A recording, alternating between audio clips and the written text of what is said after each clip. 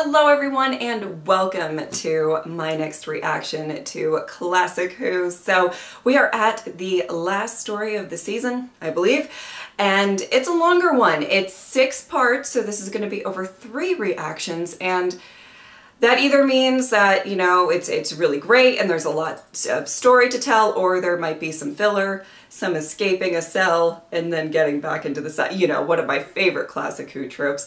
Uh, but uh, I'm really, really excited to get into it. Let's go. Mr. Chang, wonderful. Words fail me, sir. Words quite fail me. Oh Have no. I ever? Honorable Master is kind to bestow praise Oh, my. my Changs. You're Emma?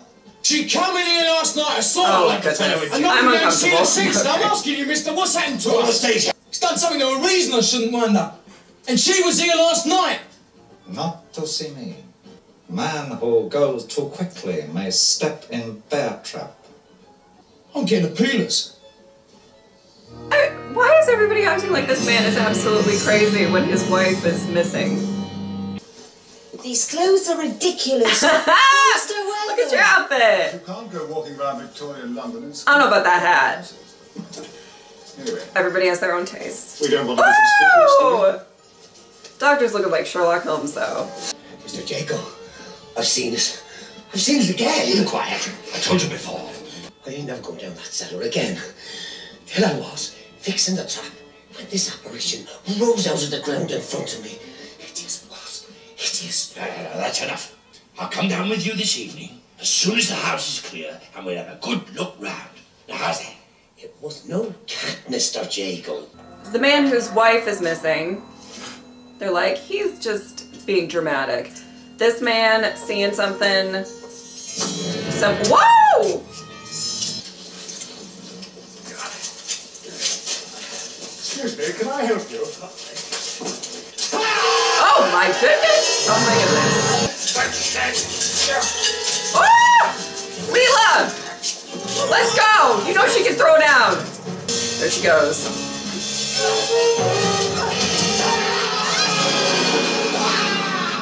Ah, get it, girl. Touch me and I'll break your arm. Oh, girl. Get back, Doctor Blue Guards. Asleep. She not asleep, Mr. Sin. She means nothing type of puppet. Is this lady gonna go? Oh, she's a little wobbly. She's a little, she's, okay. Is she gonna go missing too? Is that, is that the thing? Oh! I am a warrior at the Sevateem. I know the different sounds of death. Now put our prisoner to the torture. Oh! Don't take the biscuit. Torture, now. That come from the river. Look. There it is, Gav. Oh, the hook. Oh no. Good of you to come so prompt, sir. Not at all, Sergeant. I'm always happy to be of service to the police. What can I do for you this time? Don't I know you? I think not. Yes. I've seen you somewhere before. I understand we all look the same. Are you Chinese? Yes, that's it. We must have. No. I haven't been in China Well, for I'm 400 afraid the actor is. Are you taking this matter seriously, Sergeant? We- Can I have paper and pencil, please, Sergeant? Certainly, sir. Oh no. Oh no. Is he get? Got it! Lee Sen Chang. Show us a trick. Wow. Very good.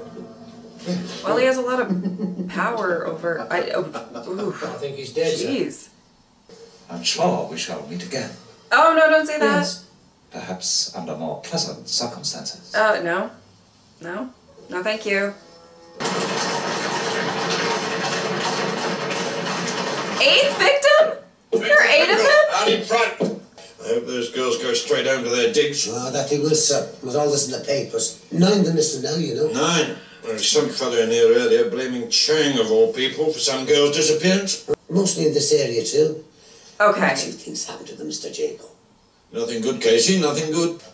I was gonna say if all like nine missing women were all volunteers of, of the show. it's like that's damning evidence, people. but he said that they kind of disappeared like off the street, like randomly, I think. So. Oh boy. I don't know if you want to die. I was right. It was blood, blood, all over the hand and wrist. Thank you.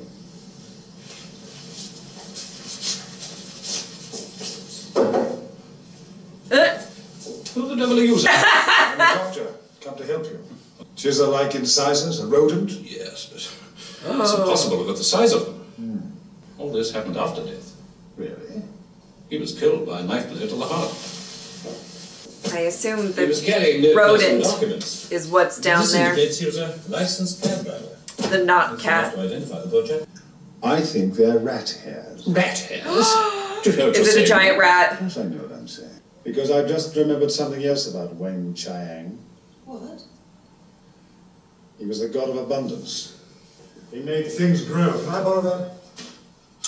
Oh, there's a big Where are rat. we going? Maybe various big rats. Nope, maybe just one. Oh! Not the. Jeez! Wow. That's, what?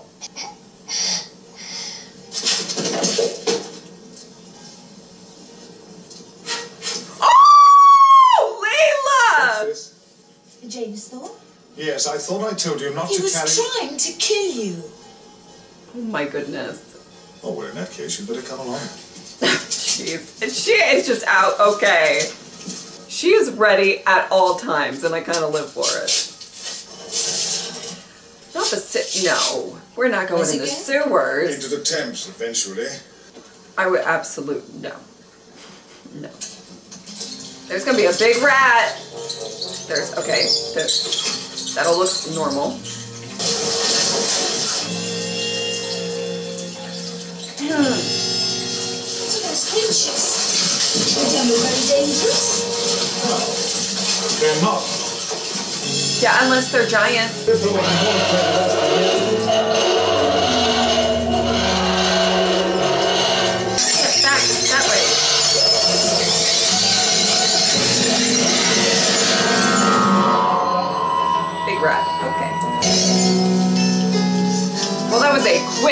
Trip to the sewer. Very quick. There's your ghost. Six guns, Sadie, and Oh, the Wild stop. West troop left that behind. Can we believe this guy? He seems scared. He just. Oh. I heard Ah, Casey, you're a pixelated leprechaun. Course of the River Fleet. What, you What did he heard was call a clang. On the Glove, is it? It's a lady's glove, monogrammed EB. Perhaps the ghost dropped it, eh? Emma. Emma, the guy that was looking for his wife. No plan of a sewer. Em, We Emma. don't keep plans of sewers here, sir. Emma. as far as Emma. I know, they all connect to the fleet and then down to the river. Right? Uh, Be so kind as to step up to my dressing room, and I will explain.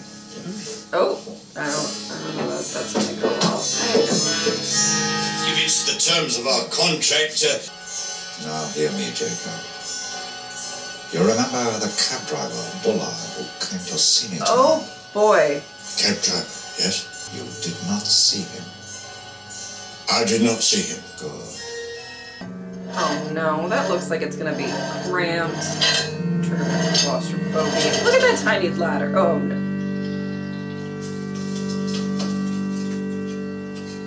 Never mind, it's quite spacious down there. I must, every night, until the time cabinet is found.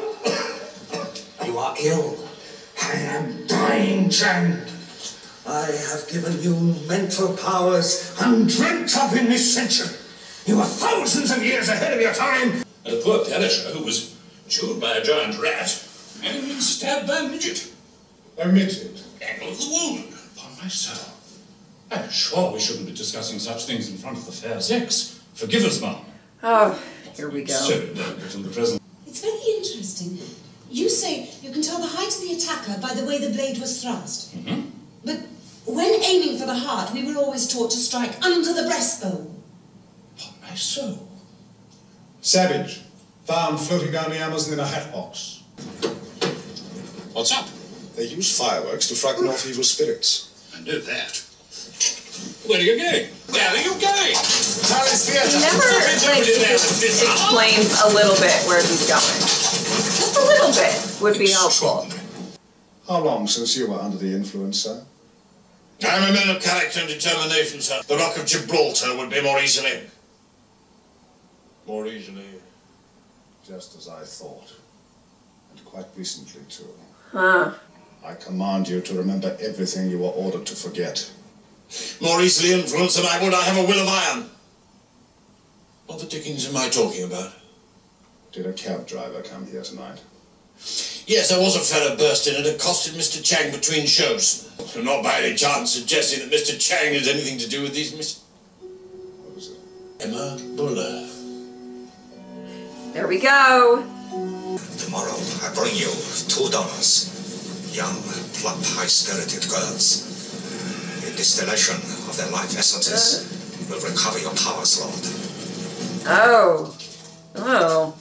Does it have to be women or does he prefer? I was reassuring Casey. I don't want to know the answer to that. He's Let's see what we have here. Mrs. Hudson always leaves me a cold collation. Oh, that is a Roast beef, chicken. that's a lot of food being prepared Black for whale, like unless I'm much mistaken. one person. But Yes, well, perhaps. Oh, there we go. the. Would you care for a knife or a fork? It's a good knife. Aren't you going to eat? Yes, yes.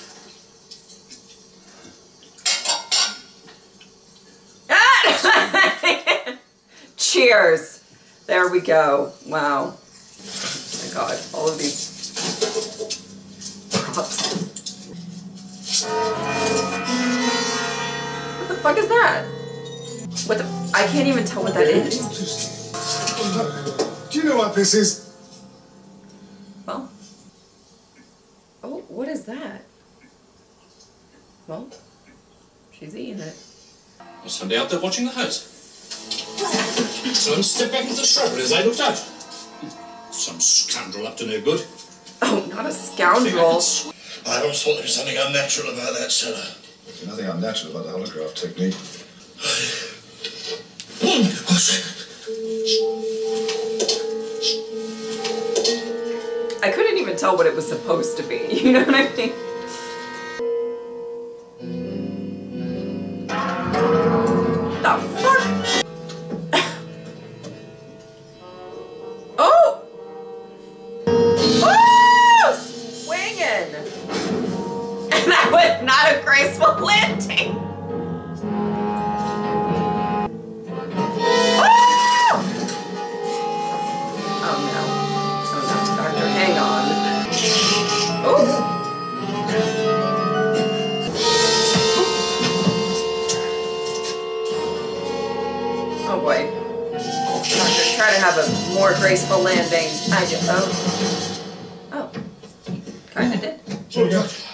Jago, cheer up.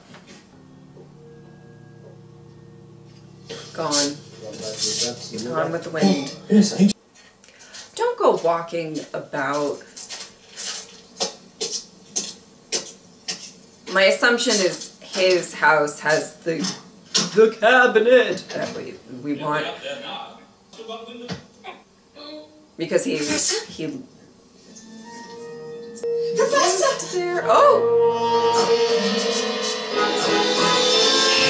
I'm sorry. Are we supposed to think that she? I feel like she can handle this.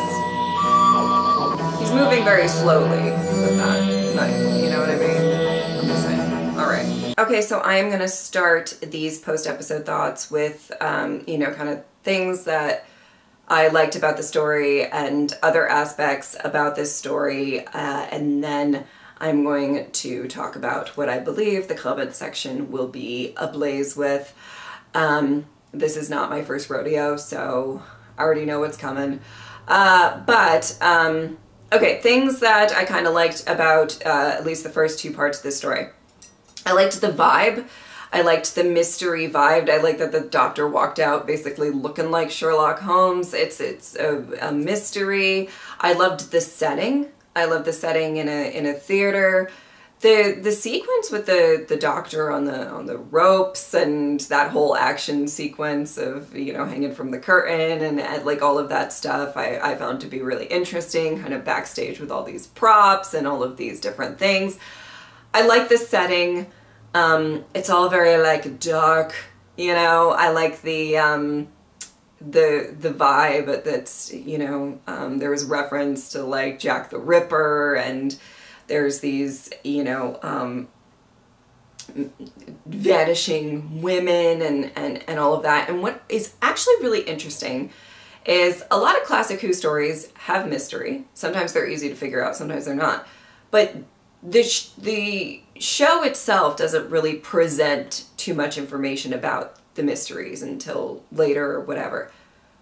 Pretty much know what's up. Okay, we do not know the exact logistics of what happens to these women, like step by step or anything like that. But we kind of know who the culprits are. We kind of heard sort of what, like, why, I guess. Ooh.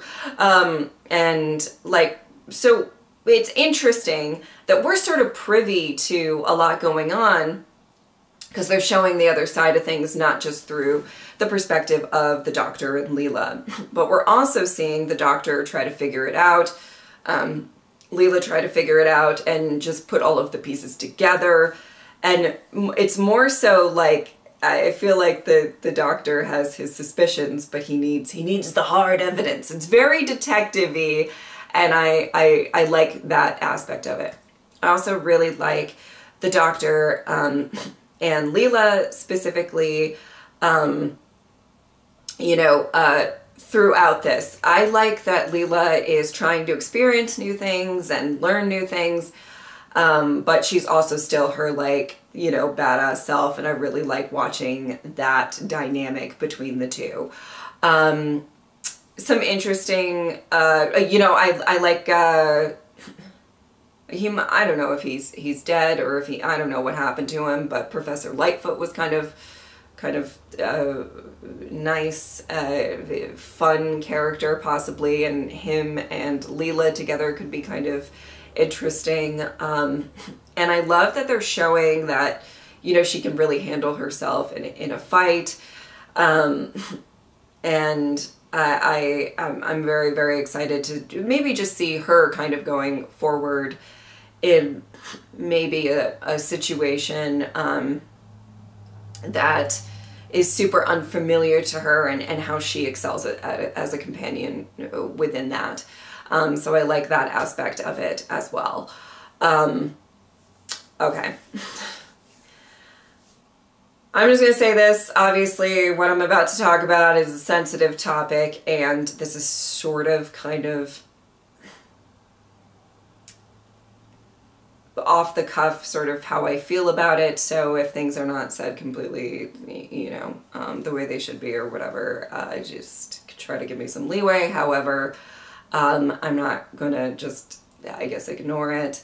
Uh, so as um, some of you guys noticed, there is an individual in the story, which is a, white actor playing a, a Chinese man uh, with uh, Asian or, or Chinese makeup on, or what I believe some would deem to be yellow face. Um, and obviously, when I first saw that, I'm sure you could see in the reaction, you know, my first reaction is uncomfortable. I was just uncomfortable. Okay. Uh, in my time as a reactor, I have watched a lot of things made, let's just say, like back in the day. Okay, because of this, and Doctor Who is not always the culprit, though it's had its moments, sure, right? Um, but uh, because of this, I have the unfortunate time randomly uh, watching race portrayed in such a manner. Okay, so as a white woman, uh, I don't know what it's like for my race to, um, one, lack representation in, in certain media or, or um, two, I, I also don't know what it's like to see somebody uh, of another race put on makeup, have an accent, and kind of emulate whatever representation of this race that they they have or the director has or or, or whatnot, so on and so forth. Um, you know, I don't know what that's like, okay, at all.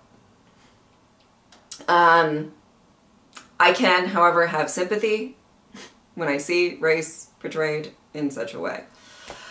Um, so throughout my time reacting, and honestly, it's happened more on Patreon than it has kind of on my actual channel. You know, I have seen things that were made way back when or whatever, uh, you know, either portray race in some type of way like this or gender in um, some type of way like this. Typically how I handle it is I, I acknowledge it, I talk about it, I don't pretend that it's not there, I don't ignore it.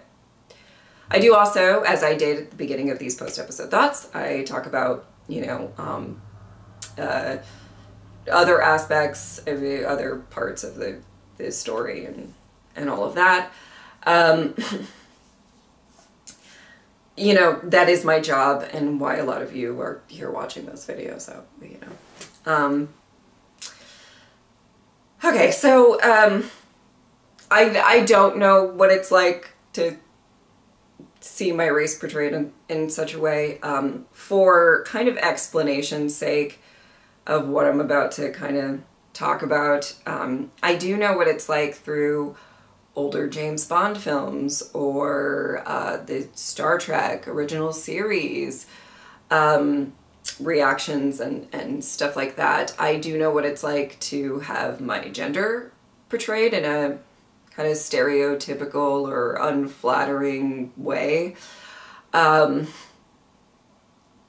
and uh, it, it's, you know, it's obviously not fun to watch and it's like super uncomfortable. It kind of takes you out of the immersiveness of, of the, the show that or movie or whatever you're trying to watch.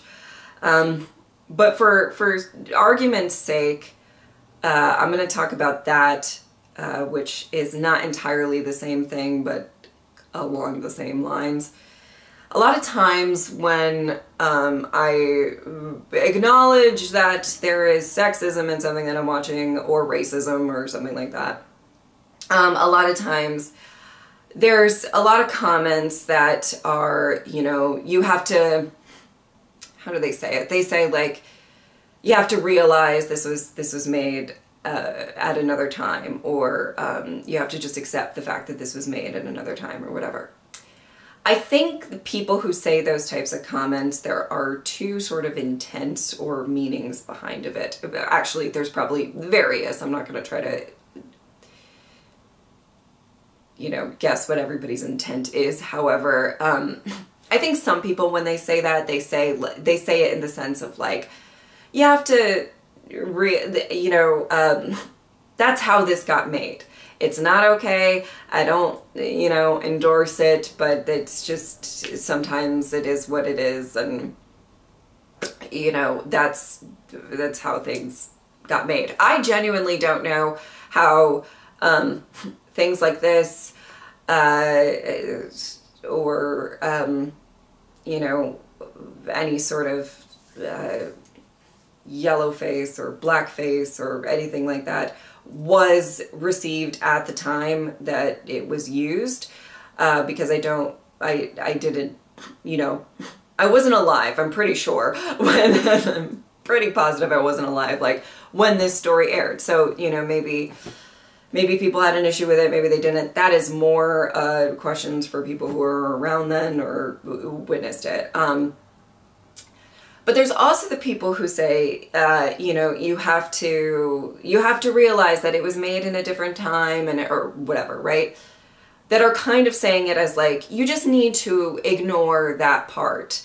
Um, don't be uncomfortable with it. Just try to com compartmentalize it and just take it away or whatever. And I just my response to that. Um, I don't have to do that. You know, I understand, especially when there is something that people are fans of and that they are defensive of and they are really have a lot of love for very beloved TV shows and, and things like that that you know um, that is how they watch it to to get through stuff and enjoy it. Um, and and just because that is how you have chosen to watch a certain thing uh, that doesn't mean that that's what I should do. You know um, when I think about my favorite episodes of Star Trek the original series that I have reacted to and, and watched and everything like that I'm not going back to rewatch the ones that made like made me feel highly uncomfortable by the way that they portrayed you know women I'm not you know despite whatever the rest of the episode was I'm not really going back and being like you know what I want to watch I want to watch that one you know what I mean so um, I just wanted to say that because I get a lot of that. Um, I get a lot of, um, whenever I voice my opinions on this stuff, I get a lot of talking at me, you know, well, you have to do this or whatever. And, and uh, respectfully, I disagree. I don't have to do that. Okay, that's all I want to say about that.